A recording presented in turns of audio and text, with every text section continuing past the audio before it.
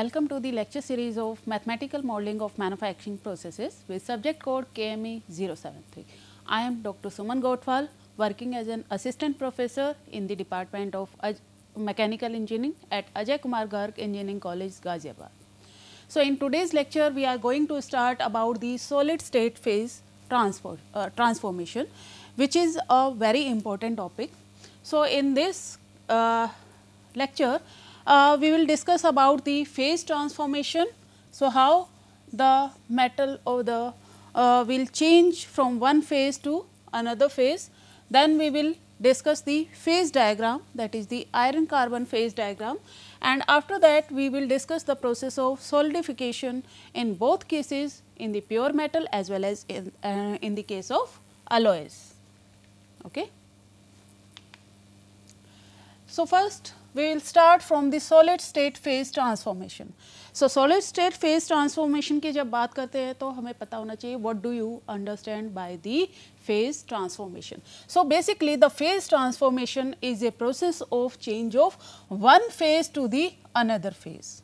Okay? एक phase से दूसरे फ़ेज़ में चेंज होना या हम कह सकते हैं the change in the number of number और the characteristic of the phases या तो करेक्टरिस्टिक्स चेंज हो रही हैं, या फ़ेज़ ट्रांसफॉर्मेशन हो रही है, एक फ़ेज़ से दूसरे फ़ेज़ में चेंजेस हो रहे हैं मेटल्स के। Now we can classify the phase transformation on the basis of the simple diffusion dependent phase transformation and it can be the complex diffusion dependent phase transformation और it might be the diffusionless phase transformation Okay. So, first we will see what is the meaning of the simple diffusion phase transformation. So, here in this case there will be no change in the phase.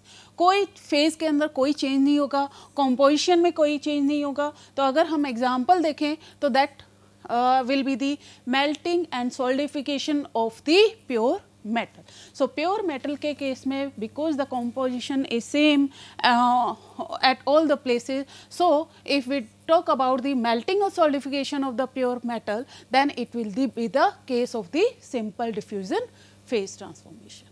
Okay. And the other example is the allotropic phase transform. Okay. Allotropic transformation, recrystallization or the grain growth. So, these are the example of the simple diffusion phase transformation. Next we come to the complex diffusion dependent phase transformation.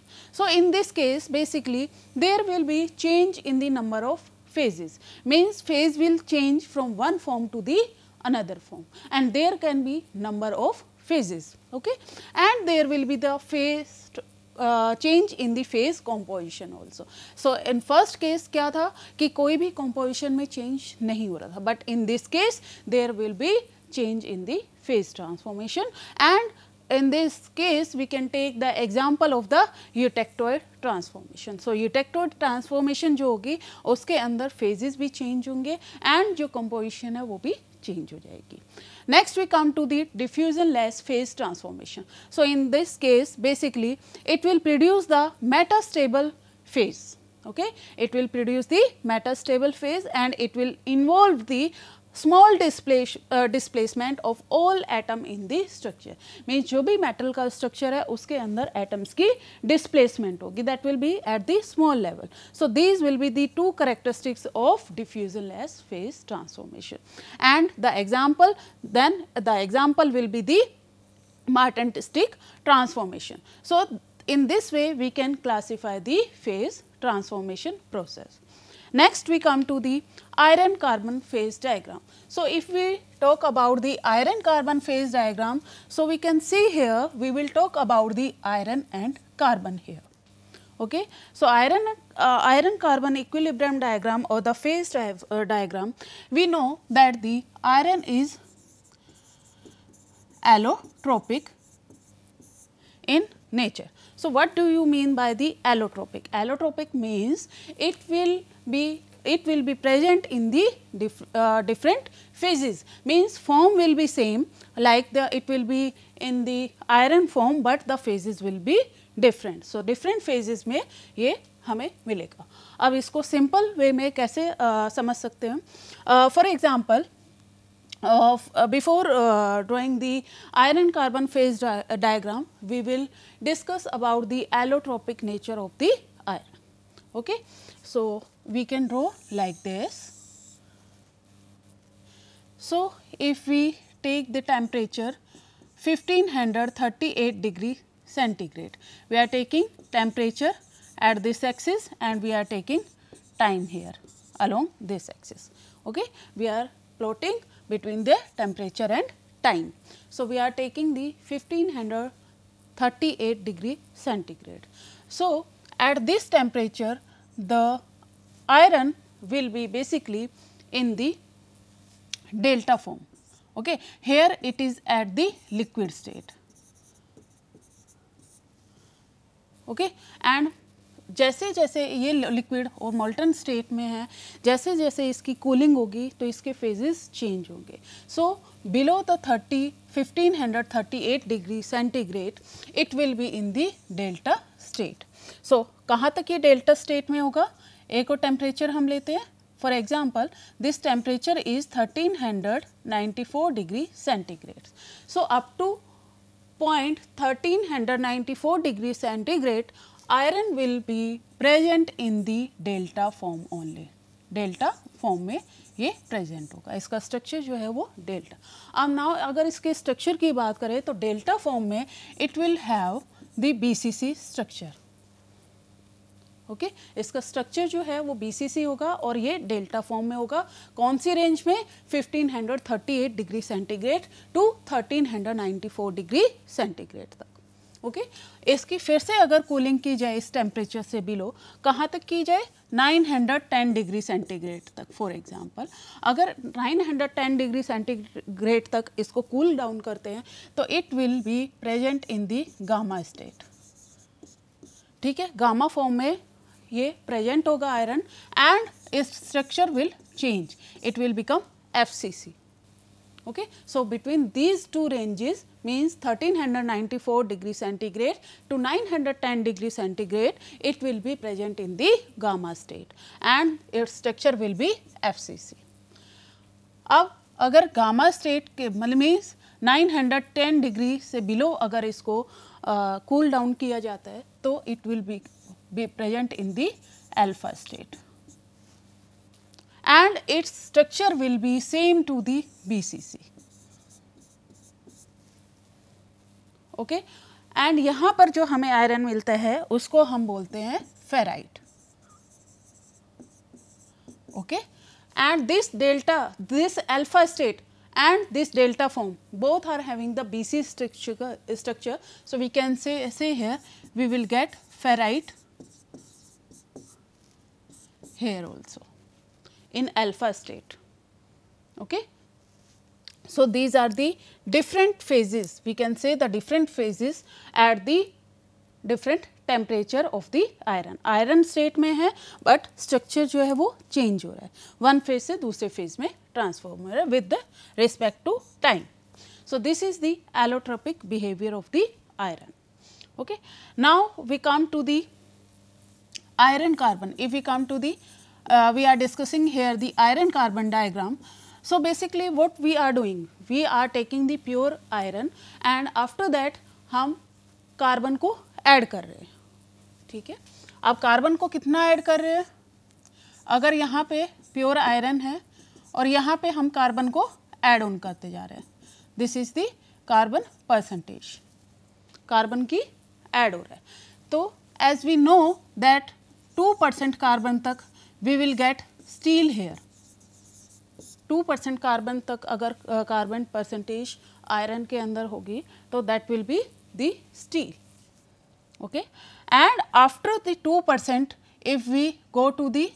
four point three okay four point three four percent of carbon अगर हम उसमें add करते हैं तो to percent से four point three percent तक it will become the cast iron यहाँ हमें कास्ट आयरन लगेगा। अगर हम कार्बन की परसेंटेज को और ज़्यादा इंक्रीज करते हैं, और ज़्यादा एड ऑन कर देते हैं up to 6.67 percent then we will get the cementite here cementite. So we have to remember these percentages of the carbon कि अगर टू परसेंट तक कार्बन अगर आयरन के अंदर ऐड करेंगे we will get steel two two four point three four percent तक अगर carbon present होगा आयरन में then we will classify it as the cast iron and if we go about this limit four point three four up to six point six seven percent then we will get the cementite here okay okay? So, this is the basically the we are talking about the percentage. Okay. Now, if we talk about the alpha, gamma and delta state. So, in case of the alpha state basically we have 0.022 percent of carbon. In alpha state only this much of carbon is added into the iron. Okay.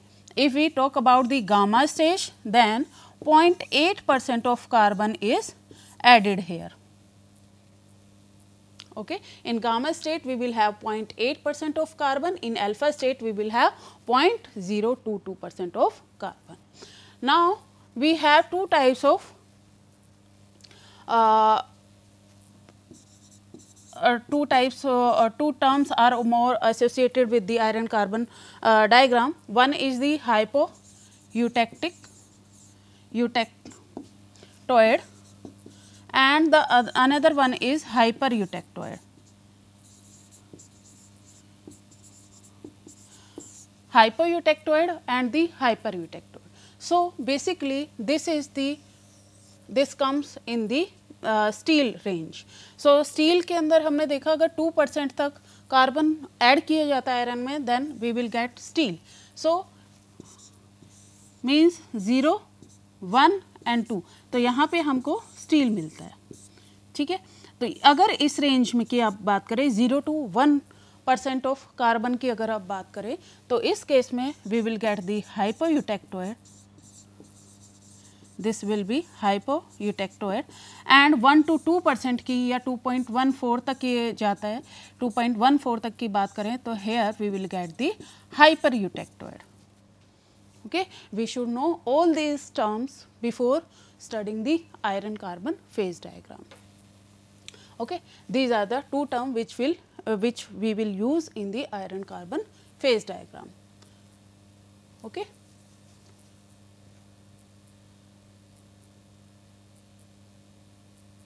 Now what we will do? Okay. So these are the term. One more. Uh, now we will draw the uh, iron carbon phase diagram. So, I am drawing the a rough diagram and in the coming slides we will uh, discuss the uh, complete diagram. Okay. So, here we have seen some temperature ranges like it was 15 38 degree centigrade uh, okay. and then we had 13 94 degree centigrade then we had 910 degree centigrade. Okay, these were the three ranges. And here we can take one temperature that is between these two ranges. And it is the like this ये यहाँ पे हम ग्यारह degree centigrade लेते हैं और एक इससे बिलो में लेते हैं 740 डिग्री सेंटीग्रेड लेते हैं। ठीक है? ये फाइव टेम्परेचर्स हैं। यहाँ पे हमारी कार्बन की परसेंटेज होगी। This will be the percentage of carbon this will be the temperature okay? I am showing you how we can draw the iron carbon phase diagram. So so, यहाँ पे percentage है तो यहाँ पे zero percent होगा यहाँ पे point zero two हमने स्टडी किया था देन पॉइंट एट परसेंट हमने किया था स्टडी देन ये वन होगा ये टू है ठीक है? देन हमारे पास था टू के बाद four point three four percent था एंड देन यहाँ पे लास्ट में six point six seven percentage है ठीक है? ये हमारे पास uh, परसेंटेज ऑफ़ कार्बन की रेंजेस थी जो हमने अभी स्टडी की। Now we will draw the diagram so here it the iron is in the liquid state okay so what we will do here basically like this will draw the diagram okay and we will draw here like this and 11, 14 degree centigrade से ये एक line draw करेंगे up to the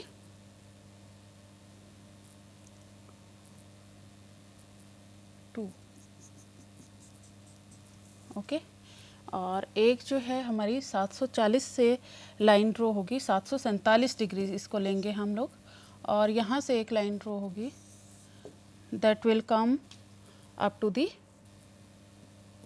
point eight okay. Now what we will do we will draw the diagram here. 910 to 910 say we will draw the diagram that will meet at point 022 like this. Okay. And then here we will tie like this. Clear and ये line ऐसे आ जाएगी। Okay after that one more line will be from here ठीक है? And it will B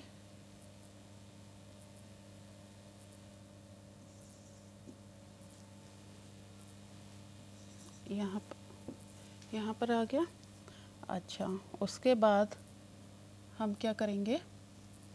इसको यहाँ से draw करेंगे। ओके ये फोर पॉइंट फोर है, यहाँ तक ये पॉइंट आएगा और ये पॉइंट हमारे पास आएगा एक, यहाँ से हम इसको मीट करेंगे लाइक like दिस और यहाँ से जो है, ये पॉइंट से यहाँ सॉरी यहाँ पे यहाँ पे इस तरह से लाइन जाएगी। तो ये पूरा जो है आपका लिक्विड हो जाएगा। और हमने डिस्कस किया, यहाँ से यहाँ तक की रेंज में वी विल गेट डेल्टा ठीक है? इससे जो नीचे रेंज आएगी, वहाँ पे हमें क्या मिलेगा? दैट विल बी लाइक इस तरह से कुछ ऐसे करके ये डायग्राम आएगा. ठीक है? Like this okay and here we will get the gamma यहाँ पे हमारे पास अल्फ़ा होगा. ठीक है? तो यहाँ पे जो होगा that will become the gamma यहाँ पे गामा है, ये लिक्विड हो जाएगा। इधर जो हमें मिलेगा that will be the delta plus liquid हो जाएगा ओके okay? यहाँ पे हमें जो मिलेगा, यहाँ पे हमें देखा है six point six seven four point three four से सिक्स पॉइंट सिक्स सेवन की जो रेंज होगी, वहाँ पे हमें फेर सॉरी सीमेंटाइट मिलेगा। सीमेंटाइट मिलेगा यहाँ पर, ठीक है? यहाँ की अगर हम बात करें तो यहाँ पे हमें क्या मिलना चाहिए? इधर है गामा और इधर है प्लस में एफ़ ई थ्री सी ठीक है? तो ये भी एफ़ ई थ्री सी ही है। ओके, यहाँ पे gamma plus F E three C हो जाएगा। यहाँ पे अगर देखें, ज़ीरो से वन तक क्या होता है? आपका हाइपोयूटेक्टोइड हो जाएगा। ठीक है? ये वाला रेंज जो है, हाइपर का हो जाएगा हाइपर यूटेक्टोइड क्लियर? यहाँ पे हमें अल्फ़ा मिलेगा और यहाँ पे जो है वो आ जाएगा alpha plus gamma clear so इस तरह से आयरन कार्बन डायग्राम को ड्रॉ कर सकते हैं। यहाँ पे आ जाएगा ये alpha plus F three C हो गया। तो इस तरह से हम आयरन कार्बन डायग्राम को ड्रॉ कर सकते हैं। इसको मोर डिटेल जो है मोर क्लियर डायग्राम जो है, हम फिर से स्टडी करेंगे। तो फेस डायग्राम सबसे पहले हम देख लेते हैं कि फेस डायग्राम को कैसे डिफाइन करेंगे। Phase diagram is basically a graphical representation of the phases that are present in an alloy at the different conditions of the temperature pressure और केमिकल कॉम्पोजिशन सो कंडीशन जो है वो different हो सकती है, चाहे हम कॉम्पोजिशन की टर्म में बात करें टेम्परेचर की टर्म में बात करें या जो है प्रेशर की टर्म में बात करें। तो ये हम आयरन के अंदर कार्बन को ऐड कर रहे हैं, एक अलॉय की फॉर्मेशन कर रहे हैं तो वो कौन कौन सी फेजेज में प्रेजेंट है, वो हम बेसिकली यहाँ पे देख रहे हैं तो iron carbon phase diagram is basically use किया जाता है to understand the different phases of the steel and the Uh, cast iron. So both steel and cast iron are a mix of the iron and carbon and both alloys contain a small amount of trace of the trace. ठीक है तो यहाँ पे multiple lines जो है हम लोग use करेंगे आयरन कार्बन डायग्राम के अंदर यहाँ पे जो हमने डायग्राम लिया है उसके अंदर ये टर्म्स आपको दिखाई देंगी and these are A one A two A three A four and A C M A basically used for uh, is used here for the term arrest means as the temperature of the metal increases or decreases the phase will change at these boundaries while the temperature reaches the value on the boundary. So, these terms will be used here. So, A1 क्या show करेगा A1 will show the upper limit upper limit को show करेगा of the ferrite or cementite phase की A2 will show the temperature where the iron loses its magnetism. A3 will show the boundaries between the gamma gamma को austenite बोलते हैं gamma and the austenite और ferrite field A four will show the point in this case where the alpha will change to delta at the higher temperature and ACM will show the boundary between the gamma and the austenite cementite field. So, these terms will we will use in our diagram. So, here you can see we have used the A1, A2, A3, A4 and ACM here.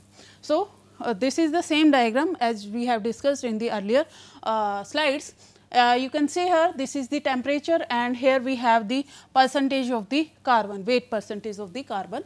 So, we can see here this is the 0.022 percent of the carbon which uh, uh, means alpha will have this percentage of carbon. So, we will get uh, here the alpha okay the iron will present in the alpha form and after that we can see here this this 2.14 okay this is two point one four तो ये कि यहाँ पे हम देख सकते हैं zero से पॉइंट एट परसेंट तक we are getting the hyper eutectoid and यहाँ पे two point one four percent तक we are getting the hyper okay here we have the delta ये आपका temperature five fifteen thirty eight degree centigrade to thirteen ninety four degree तक यहाँ we are getting the delta this is the liquid state okay liquid state है तो यहाँ पे delta है.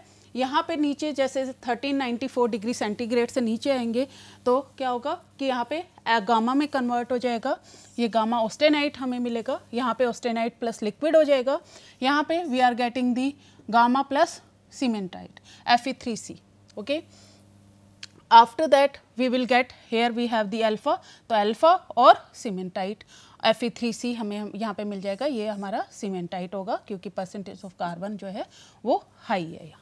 So this is basically the phase diagram now we will discuss the solidification of metals so solidification of metals की अगर बात करें तो प्योर मेटल और अलॉयज़ में हम यहाँ पे सोल्डिफिकेशन प्रोसेस को डिस्कस करेंगे।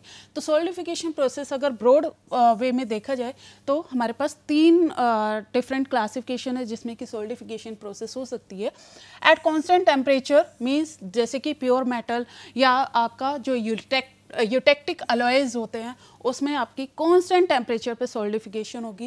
एंड जो over a temperature range means जैसे कि अलोइज अलोइज की अगर हम बात करें तो यहाँ पे जो सोल्डिफिकेशन होगी, एक रेंज में होगी not at the particular temperature.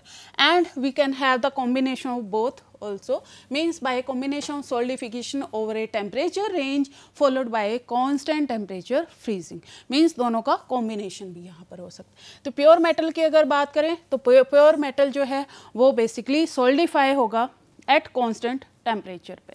ठीक है? कांस्टेंट टेम्परेचर पे ये सॉलिडिफाई होगा, जो कि उसके फ्रीजिंग पॉइंट के इक्वल होगा which is same as its melting point so we can see here लेकिन अलोइस की अगर बात करें तो यहाँ पे जो है ये ओवर ए टेम्परेचर रेंज पे सोल्डिफाई होंगे। एक पर्टिकुलर टेम्परेचर पे सोल्डिफाई नहीं होंगे।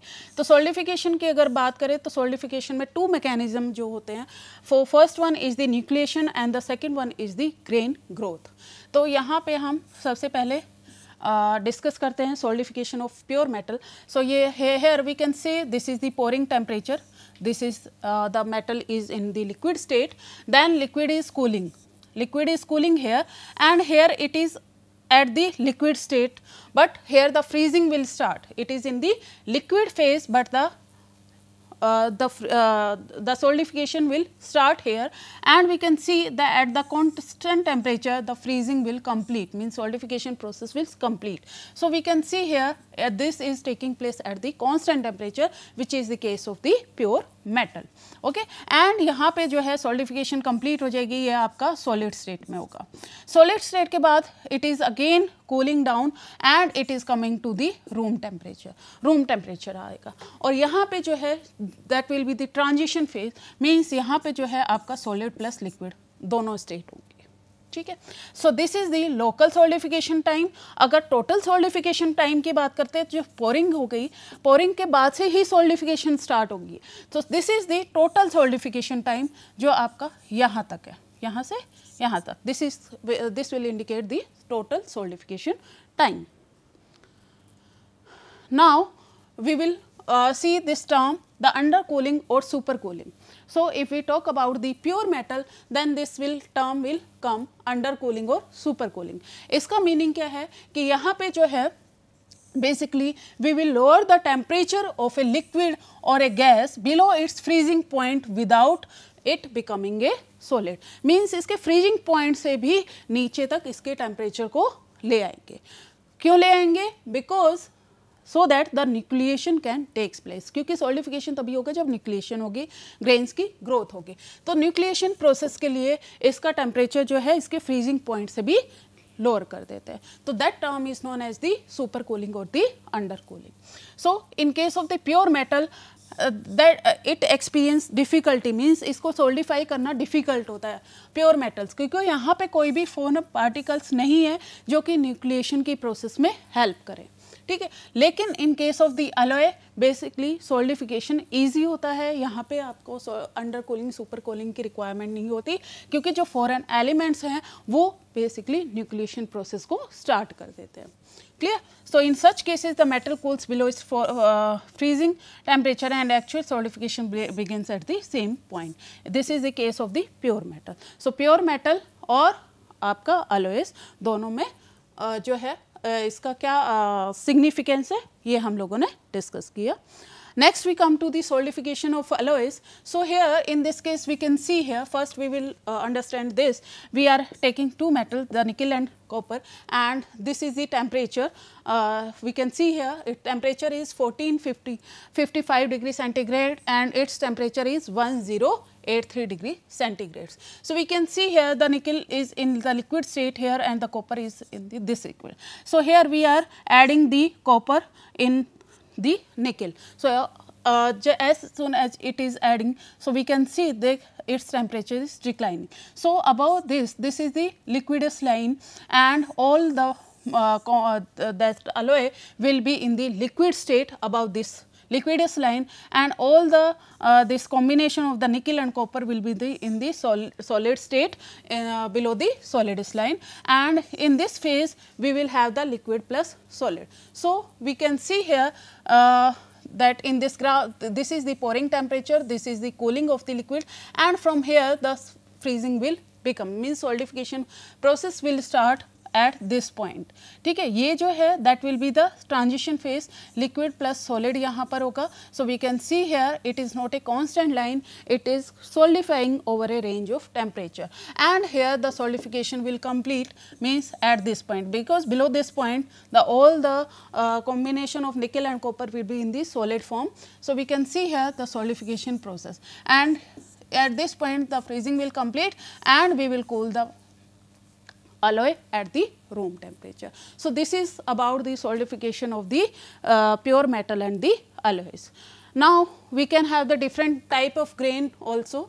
For example, we have two types of grain equiaxed and columnar grains. So, in case of the um, metals, pure metals, we uh, have the uh, equiaxed uh, means these are small in size and which are formed at near the boundary of the uh, this wall, mold wall okay and these columnar uh, grains are basically the large in size and these are thin and the quartz type of grain and these are basically growing in one direction which is opposite to the direction of the heat transfer. So, in this case these are the columnar grain and these are the equiaxed grain and in case of the alloys we have the this types of grain structure and these are called the dendrites and these dendrites are three dimensional and these are formed because of the uh, different types of uh, different uh, temperature is present here because we have the combination of the metals here. So, uh, these are having the different freezing point. So, because of this the, the grains are grown in the three directions. So, we will form the dendrites in case of the alloys. So, these are the references. So, thank you very much for listening the lecture. Thank you.